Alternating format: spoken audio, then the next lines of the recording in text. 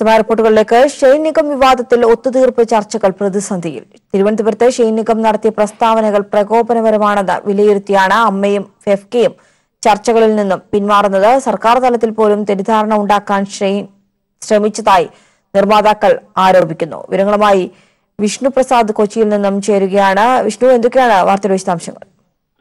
ജീന തീർച്ചയായും അമ്മ സൈനികവും നിർമ്മാതാക്കളും തമ്മിലുള്ള പ്രശ്നം പരിഹരിക്കുന്നതിനായി അമ്മയും ഫെഫ്കയും കഴിഞ്ഞ കുറച്ച് ദിവസങ്ങളായി തന്നെ കഠിന പ്രയത്നം നടത്തിക്കൊണ്ടിരിക്കുകയാണ് വീണ്ടും ഈ ഒരു വിവാദം ഒരു പൊട്ടിത്തെറിയുടെ വക്കിലെത്തി നിൽക്കുന്നത്. നിർമ്മാതാക്കൾക്കെതിരെ ഇന്ന് തിരുവനന്തപുരത്ത് വെച്ച് ഷൈൻ നടത്തിയ പ്രസ്താവനയാണ് നിർമ്മാതാക്കളെ പ്രകോപിപ്പിച്ചത്. ഈ ഒത്തുതീർപ്പ് ചർച്ചകളിൽ നിർമ്മാതാക്കൾ പറയുന്നതെല്ലാം താൻ കേട്ടിരിക്കാൻ മാത്രം വിധിക്കപ്പെടുകയാണെന്നും കൂടാതെ നിർമ്മാതാക്കൾക്ക് മാനസിക രോഗമാണ് അല്ലെങ്കിൽ മാനസിക പ്രശ്നമാണ് ഉള്ളതെന്നും ആ, ഷൈനികം ഇന്ന് തിരുവനന്തപുരത്ത് വെച്ച് പ്രതികരിച്ചിരുന്നു. ഇതാണ് ഇപ്പോൾ നിർമ്മാതാക്കളെ പ്രകോപിപ്പിച്ചിരിക്കുന്നത്. ഇത് ഈ ഇതേ തുടർന്ന് ഇനി ഒരു ഒത്തുതീർപ്പ് ചർച്ചകളിൽ ചർച്ചകളില്ല എന്ന് അല്ലെങ്കിൽ ഇത്തരം ചർച്ചകളിൽ ഭ- ഭാഗമാകില്ലെന്ന് അമ്മയും ഫെഫ്റ്റിയും ഇപ്പോൾ നിലപാട് അറിയിച്ചിരിക്കുകയാണ്. ഇന്ന് മന്ത്രി എ കെ ബാലനുമായി ഷൈനിക നടത്തിയ കൂടിക്കാഴ്ചയിൽ സർക്കാർ തലത്തിൽ പോലും വിഷയത്തിൽ തെറ്റിദ്ധാരണയുണ്ടാക്കാൻ ഷൈനികൻ ശ്രമിച്ചു. ഇതിനായി ഒത്തുതീർപ്പ് കരാറിന്റെ കോപ്പി പതിപ്പ് മന്ത്രിക്ക് ഷൈൻ കൈമാറിയതും ഇന്ന് നിർമ്മാതാക്കളെ പ്രകോപിപ്പിച്ചിട്ടുണ്ട്. എന്തായാലും ഇനിയൊരു ഒത്തുതീർപ്പ് ചർച്ചകൾക്ക് പ്രസക്തി ഇല്ല എന്ന് തന്നെയാണ് അമ്മയുടെ നിലപാട് അമ്മയും ഫെഫ്കയും ഇതേ നിലപാട് തന്നെയാണ് സ്വീകരിച്ചിരിക്കുന്നത്. വിഷയത്തിൽ ഷൈന്റെ ഖേദപ്രകടനം ഉൾപ്പെടെയുള്ളവ ഇന്ന് ഇനി സംഘടനകൾ പ്രതീക്ഷിക്കുന്നുണ്ട്. അത്തരത്തിലൊരു ഖേദപ്രകടനം ഷൈൻ നടത്തിയാൽ മാത്രമേ ഒരു പക്ഷേ ഭാവിയിലെങ്കിലും ഈ വിഷയത്തിൽ കൂടുതൽ ചർച്ചകളും പരിഹാരങ്ങളും ഉണ്ടായ ഉണ്ടാകാൻ സാധ്യതയുള്ളൂ. നിലവിലെ സാഹചര്യത്തിൽ ചർച്ചകൾക്കൊന്നും ഇനി പ്രസക്തി ഇല്ല എന്ന നിലപാടാണ് അമ്മയും ഫെഫ്റ്റിയും തീരുമാനിച്ചിരിക്കുന്നത്. ഇതോടുകൂടി ഒത്തുതീർപ്പ് ചർച്ചകൾ വഴിമുട്ടുന്ന ഒരു സാഹചര്യമാണ് ഈ പ്രശ്നത്തിലുള്ളത്. സൈനികവും നിർമ്മാതാക്കളും തമ്മിലുള്ള പ്രശ്നം പരിഹരിക്കാൻ ഇന്നുൾപ്പെടെ അമ്മയും ഫെഫ്കയും അതുപോലെ വെയിൽ സിനിമയുടെ സംവിധായകൻ ശരത്തുമായി ചേർന്ന് കൊച്ചിയിൽ കൂടിക്കാഴ്ച നടത്തിയിരുന്നു. ഈ കൂടിക്കാഴ്ചയ്ക്ക് ശേഷവും ശരത്ത് സിനിമ പൂർത്തിയാക്കണമെന്ന ആഗ്രഹമാണ് പങ്കുവെച്ചത്. എന്നാൽ അതേസമയം ഇനിയും ചർച്ചകൾ വേണ്ടിവരുമെന്ന് അമ്മയും ഫെഫ്കയും നിലപാടെടുത്തതിന് പിന്നാലെയാണ് ഷൈന്റെ വിവാദപരമായ പ്രസ്താവന പുറത്തു വന്നത്. ഇതോടുകൂടി എല്ലാ ചർച്ചകൾക്കുള്ള എല്ലാ സാധ്യതകളും അവസാനിക്കുന്ന ഒരു സ്ഥിതിവിശേഷമാണ് മലയാള സിനിമാ ലോകത്ത് ഈ ഒരു വഴക്കിനെ തുടർന്ന് ഉണ്ടായിക്കൊണ്ടിരിക്കുന്നത്.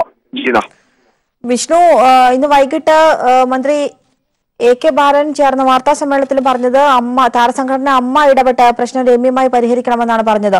ഈ ഒരു നിലപാട് മന്ത്രി എടുത്ത സാഹചര്യത്തിൽ കൂടിയും താരസംഘടന ഇങ്ങനെയൊരു ഷെയ്നുമായുള്ള ഒരു യാതൊരു തരത്തിലുമുള്ള ഒത്തുതീർപ്പ് ചർച്ചയ്ക്കില്ല എന്നൊരു നിലപാടിൽ തന്നെയാണ് ഉള്ളത് തീർച്ചയായും ജീന ഇന്ന് മന്ത്രി പറഞ്ഞത് വളരെ വ്യക്തമായിരുന്നു. ഇതിൽ സർക്കാർ ഇടപെടേണ്ട സാഹചര്യമില്ല. അല്ലെങ്കിൽ സർക്കാരിനെ ഇടപെടാൻ വേണ്ടി സൈനികവും ആവശ്യപ്പെട്ടിട്ടില്ല. അമ്മ ചർച്ച ചെയ്യും. അമ്മ പോലെയുള്ള സംഘടനകൾ അമ്മ ഉൾപ്പെടെയുള്ള സംഘടനകൾ ഈ വിഷയത്തിൽ ചർച്ച നടത്തി. ഇതിനൊരു പരിഹാരം കാണണമെന്ന് തന്നെയാണ് മന്ത്രി ഇന്ന് അറിയിച്ചിട്ടുണ്ടായിരുന്നത്. ഈ ഒരു നിലപാട് തന്നെയായിരുന്നു അമ്മയും ഫെഫ്കയും സ്വീകരിച്ചിട്ടുണ്ടായിരുന്നത്. കാരണം ചർച്ചകൾ നടത്താം ചർച്ചകളിൽ പരിഹാരം കണ്ടെത്താം എന്ന് തന്നെയായിരുന്നു. അതിന്റെ അടിസ്ഥാനത്തിലാണ് ഇന്ന് ഷെയിന്റെ അഭാവത്തിൽ പോലും വെയിൽ സിനിമയുടെ സംവിധായകനുമായി അമ്മ അമ്മ അമ്മയെ പ്രതിനിധീകരിച്ച് ഇടവേള ബാബുവും അതുപോലെ എഫ് കെ പ്രതിനിധീകരിച്ച വി ഉണ്ണികൃഷ്ണനും ഇന്ന് എറണാകുളത്ത് വെച്ച് ചർച്ച നടത്തിയത്. എന്നാൽ ഈ ചർച്ചയിൽ ഉൾപ്പെടെ ഇതിനുള്ള സാധ്യതകൾ ആരായുകയായിരുന്നു? ഇരുപത്തിരണ്ടിന് ഈ മാസം ഇരുപത്തിരണ്ടിന് അടിയന്തര എക്സിക്യൂട്ടീവ് യോഗം വിളിച്ച് ചേർത്ത് ഈ ഒരു പ്രശ്നം ചർച്ച ചെയ്യാൻ ഉൾപ്പെടെ അമ്മ തീരുമാനിച്ചിരുന്നു. ഇതെല്ലാം നിലനിൽക്കുന്ന സാഹചര്യത്തിൽ നിരന്തര ചർച്ചകൾ നടന്നുകൊണ്ടിരിക്കുന്ന സാഹചര്യത്തിലാണ് ഇപ്പോൾ ഷെയ്ന്റെ പ്രസ്താവന ഏറെ വിവാദമായിരിക്കുന്നത്. നമുക്കറിയാവുന്ന പോലെ തന്നെ ആദ്യഘട്ടം മുതൽ ഈ സൈനികവുമായി സഹകരിക്കില്ലെന്ന നിലപാട് നിർമ്മാതാക്കളുടെ സംഘടന സ്വീകരിച്ചിട്ടുണ്ടായിരുന്നു. ഈ ഒരു പ്രശ്നത്തിന് പരിഹാരം കാണണമെന്ന് ആവശ്യപ്പെട്ട് അമ്മയെ സമീപിച്ചതോടെയാണ് ഫെഫ്റ്റിയുമായി ഈ വിഷയത്തിൽ അമ്മ മുൻകൈയെടുത്ത് കൂടിക്കാഴ്ച നടത്താൻ തയ്യാറായത്. എന്നാൽ ഇത് ഇതിന്റെ ഭാഗമായി തന്നെയാണ് ഇന്നും ഒരു കൂടിക്കാഴ്ച നടന്നത്. ഇത്തരത്തിൽ പ്രശ്നം പരിഹരിക്കുക എന്നുള്ളത് സിനിമയ്ക്കുള്ളിൽ നിന്നുകൊണ്ട് തന്നെ സിനിമയിലെ സംഘടനകൾ ചേർന്നുകൊണ്ട് തന്നെ അതിന് ശ്രമങ്ങൾ നടത്തി വരുമ്പോഴാണ് അതിനെ വിലങ്ങുതടിയായി ഷൈനിന്റെ ഇത്തരത്തിലുള്ള ഒരു പ്രസ്താവന വരുന്നത്. തീർത്തും നിർമ്മാതാക്കൾക്കെതിരായ ഒരു പ്രസ്താവനയാണ് ഷൈൻ ഇന്ന് തിരുവനന്തപുരത്ത് നടത്തിയത്. ഇതിന് ഇത് ഇതാണ് ഇന്ന് അക്ഷാർത്ഥത്തിൽ നിർമ്മാതാക്കളെ പ്രകോപിപ്പിച്ചത്. ഇതിനു പുറമെ മന്ത്രിയുമായി നടത്തിയ ഷൈന്റെ കൂടിക്കാഴ്ചയിലും സർക്കാർ തലത്തിൽ പോലും വിഷയത്തിൽ തെറ്റിദ്ധാരണയുണ്ടാക്കാനാണ് ഷൈൻ ഷൈൻ ശ്രമിച്ചതെന്നാണ് നിർമ്മാതാക്കൾ കുറ്റപ്പെടുത്തുന്നത്. ഈ ഒത്തുതീർപ്പ് കരാറിന്റെ കോപ്പി ഉൾപ്പെടെ മന്ത്രിക്ക് നൽകുന്ന ഒരു സാഹചര്യം ഷൈന്റെ ഭാഗത്തു നിന്നുണ്ടായി അല്ലെങ്കിൽ അത്തരം ഒരു നടപടി ഷൈന്റെ ഭാഗത്തു നിന്നുണ്ടായി ഇതെല്ലാം നിർമ്മാതാക്കൾക്ക് വലിയ രീതിയിൽ അതൃപ്തി സൃഷ്ടിച്ചിട്ടുണ്ട്. ഈ അതൃപ്തി തന്നെയാണ് ഇപ്പോൾ ഒരു പരസ്യമായ ഒരു പരസ്യ പ്രസ്താവനയിലേക്ക് അമ്മയെയും ഫെഫ്കയെയും കൊണ്ടെത്തിച്ചിരിക്കുന്നത്. ഇനി ചർച്ചകൾക്ക് പ്രസക്തിയില്ല. ഈ വിഷയത്തിൽ ഇത്തരത്തിലുള്ള ഒരു നിലപാടാണ് സ്വീകരിച്ചിട്ടുള്ളതെങ്കിൽ ഇനി ഒത്തുതീർപ്പ് ചർച്ചകൾക്ക് പ്രസക്തിയില്ലെന്ന ഒരു നിലപാട് തന്നെ അമ്മയും ഫെഫ്കയും സ്വീകരിച്ചിരിക്കുകയാണ്. എന്തായാലും ഇനി സൈനികത്തിന്റെ ഭാഗത്തു നിന്ന് ഖേദപ്രകടനം വല്ലതും ഉണ്ടാകുന്നുണ്ടോ എന്നത് മാത്രമാണ് ശ്രദ്ധിക്കേണ്ടത് ജിന ശരി വളരെ വ്യക്തമാണ് വിഷ്ണു. ഷെയ്ൻ നിഗം വിഷയത്തിൽ അമ്മയും ഫെഫ്കയും പിന്മാറുന്നു. യാതൊരു തരത്തിലുമുള്ള ഒത്തുതീർപ്പ് ചർച്ചയ്ക്കും ഇല്ല എന്നാണ് ഇരു സംഘടനകളും പറയുന്നത്. തിരുവനന്തപുരത്ത് ഷെയ്ൻ നിഗം നടത്തിയ പ്രസ്താവനകൾ പ്രകോപനപരമാണെന്നാണ് അമ്മയും ഫെഫ്കയും അഭിപ്രായപ്പെടുന്നത്. വിഷ്ണുപ്രസാദാണ് കൊച്ചിയിൽ നിന്നും വിശദാംശങ്ങൾ നൽകിയത്.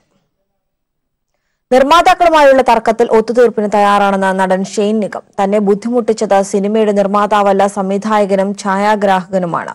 തന്റെ കയ്യിൽ ഇതിനെല്ലാമുള്ള തെളിവുണ്ടെന്നും ഷെയ്ൻ പറഞ്ഞു. ജോലിയിലുള്ള തന്റെ ആത്മാർത്ഥത വിലയിരുത്തേണ്ടത് പ്രേക്ഷകരാണ്. അതേസമയം അമ്മ നടത്തുന്ന ഒത്തുതീർപ്പ് ചർച്ചകളിൽ പ്രതീക്ഷയുണ്ടെന്നും ഷെയ്ൻ തിരുവനന്തപുരത്ത് പ്രതികരിച്ചു.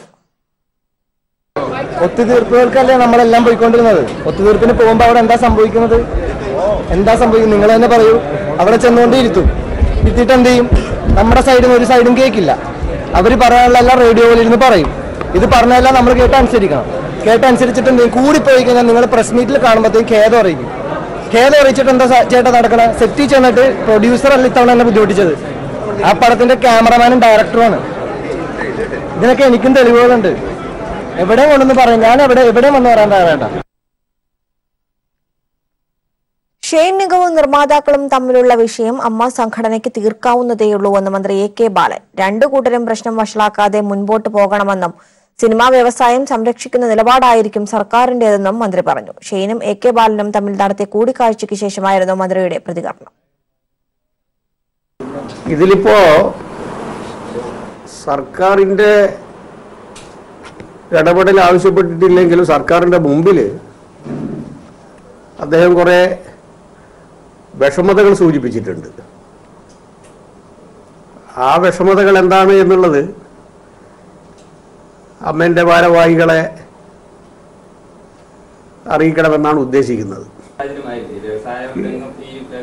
ഇല്ല അത് അമ്മ അമ്മക്കതിനുള്ള കഴിവുണ്ടെന്നാണ് അതിനുള്ള കഴിവുണ്ട് എന്നാണ് ഞാൻ വിശ്വസിക്കുന്നത്. അവർ ഇടപെട്ട് തീർക്കാൻ പറ്റാവുന്ന പ്രശ്നമേ ഉള്ളൂ എന്നാണ് തോന്നുന്നത്. അതിപ്പോ കുട്ടി ഇയാളും ഏറെ വിവാദമായ പൗരത്വ ഭേദഗതി ബിൽ ലോക്സഭയിൽ അവതരിപ്പിച്ചു. ശക്തമായ പ്രതിപക്ഷ പ്രതിഷേധങ്ങൾക്കിടയിലാണ് അവതരണം. ബിൽ മുസ്ലിം വിഭാഗങ്ങളെ ലക്ഷ്യം വെച്ചെന്നും ഭരണഘടനാ വിരുദ്ധമെന്നും പ്രതിപക്ഷം. മതത്തിന്റെ അടിസ്ഥാനത്തിൽ രാജ്യത്തെ വിഭജിച്ചത് കോൺഗ്രസ് ആണെന്ന് അമിത്ഷായുടെ മറുപടി. ബില്ലിനെതിരെ പ്രതിഷേധം രാജ്യവ്യാപകമാകുന്നു. വടക്കുകിഴക്കൻ സംസ്ഥാനങ്ങളിൽ ജനങ്ങൾ തെരുവിലിറങ്ങി പ്രതിഷേധിച്ചു. ബില്ലിന്മേൽ ചർച്ച പുരോഗമിക്കുകയാണ്. ശക്തമായ പ്രതിപക്ഷ ഭരണപക്ഷ വാഗ്വാദങ്ങൾക്കിടയിലാണ് പൗരത്വ ഭേദഗതി ബിൽ ലോക്സഭയിൽ അമിത്ഷാ അവതരിപ്പിച്ചത്. അവതരണാനുമതി തേടിയപ്പോൾ തന്നെ ബിൽ അവതരിപ്പിക്കാൻ അനുവദിക്കരുതെന്നാവശ്യപ്പെട്ട് പ്രതിപക്ഷം പ്രതിഷേധിച്ചു. ബിൽ ഭരണഘടനാ വിരുദ്ധമാണെന്ന് പ്രതിപക്ഷം ചൂണ്ടിക്കാട്ടി. രാജ്യത്തിന്റെ മതേതര ഘടനയ്ക്ക് ബിൽ എതിരാണെന്നും ആർട്ടിക്കിൾ പതിനാലിന്റെ ലംഘനമാണ് ബില്ലിലെന്നും കോൺഗ്രസ് വിമർശിച്ചു. മതത്തിന്റെ അടിസ്ഥാനത്തിലല്ല പൗരത്വം നിശ്ചയിക്കേണ്ടത്. പൗരത്വ ഭേദഗതി ബിൽ രാജ്യത്തെ ന്യൂനപക്ഷങ്ങളെ ലക്ഷ്യം വെച്ചുള്ളതാണെന്നും കോൺഗ്രസ് വിമർശിച്ചു. I do not have any qualm to opine that this is a regressive legislation. It is nothing but a targeted legislation against the minority people of our country. That, that, that I am not yielding, sir.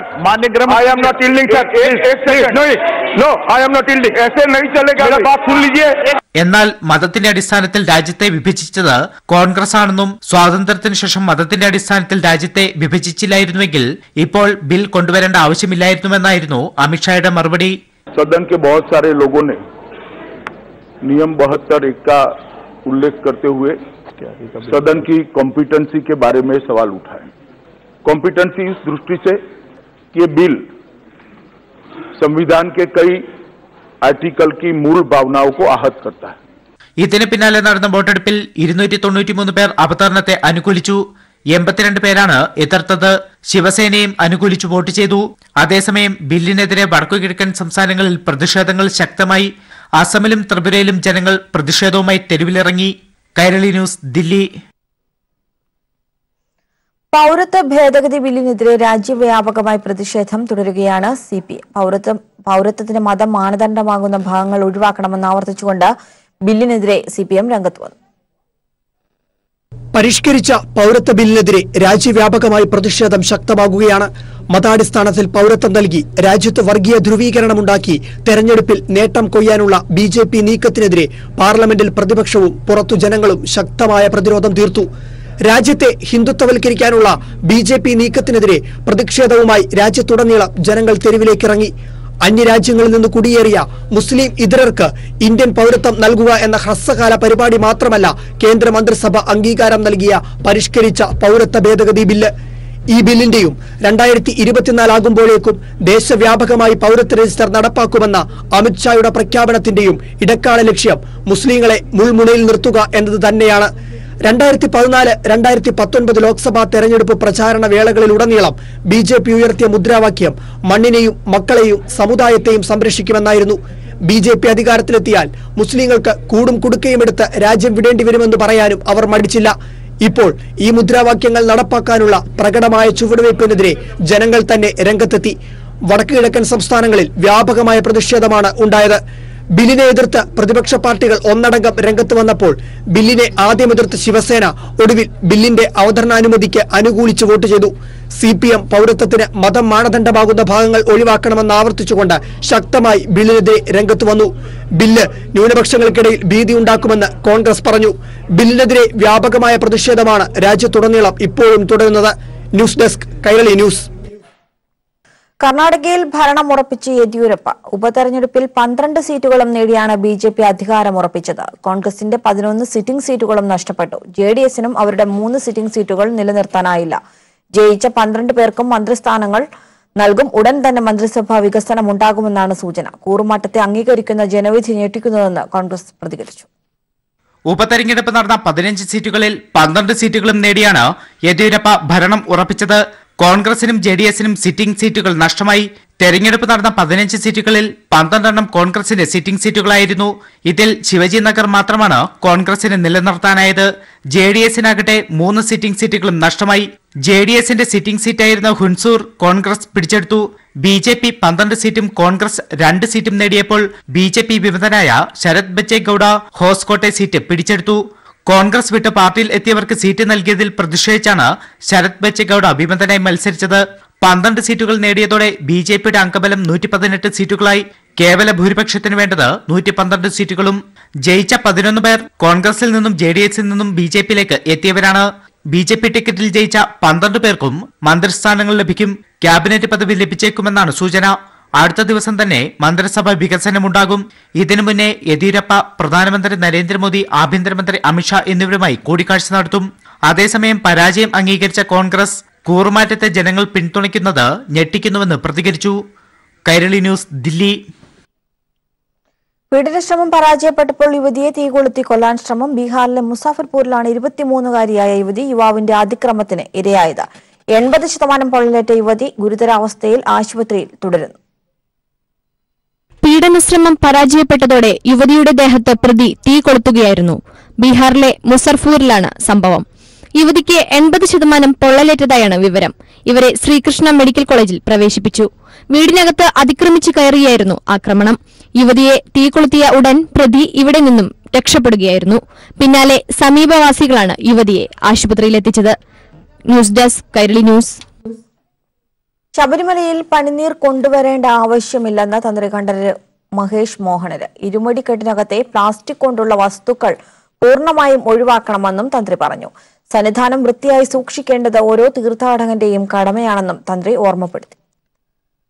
പനിനീരും ഒക്കെ കൊണ്ടുവരുന്നുണ്ടെന്ന് തോന്നുന്നു. അപ്പം ഈ പനിനീരൊന്നും കൊണ്ടുവന്നിട്ട് യാതൊരു കാര്യമില്ല കാരണം അതിവിടെ ഒന്നാമത് എടുക്കുന്നില്ല. അത് കെമിക്കലാണ് അത് അകത്തോട്ട് പോലും എടുക്കുന്നില്ല. അപ്പം അത്തരം സാധനങ്ങൾ വെറുതെ ചുമന്നുകൊണ്ട് വരേണ്ട കാര്യമില്ല.